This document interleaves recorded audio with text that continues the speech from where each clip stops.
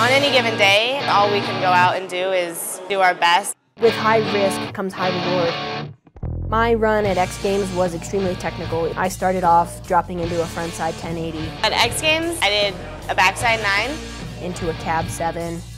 To a frontside 7. Into a front 9. To a cab 7.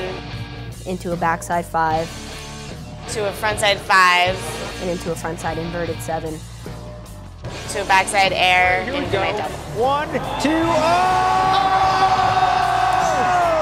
Kelly Clark with the frontside 1080, Elena Hight with the double alley-oop rodeo. Never been done, female or male.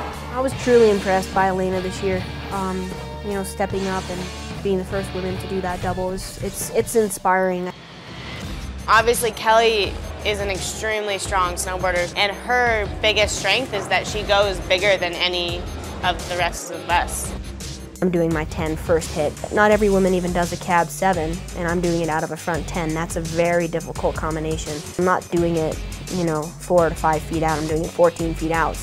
For me, amplitude has never been my strength. Elena Hight needs to just up her amplitude. And that's something that I'm working on. I think a lot of it just has to do with not being afraid and, you know, getting over that fear of going big.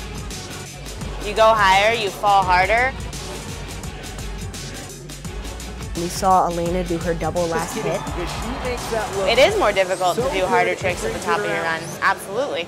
Because if you don't land perfectly on the trick at the beginning of the run, it affects the rest of your run all the way down. I had kind of the well-rounded run.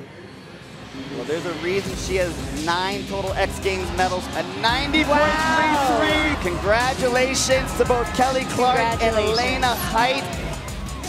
My goal all season going into X Games has been to be able to do my double in my run. Obviously was a little bit bummed that it, it was such a close call between Kelly and I, but I'm happy with how I rode and they gave it to her this time and it just, you know, fueled my fire to want to go out and make the changes that I need to make to my riding and, and that much better this year and next year.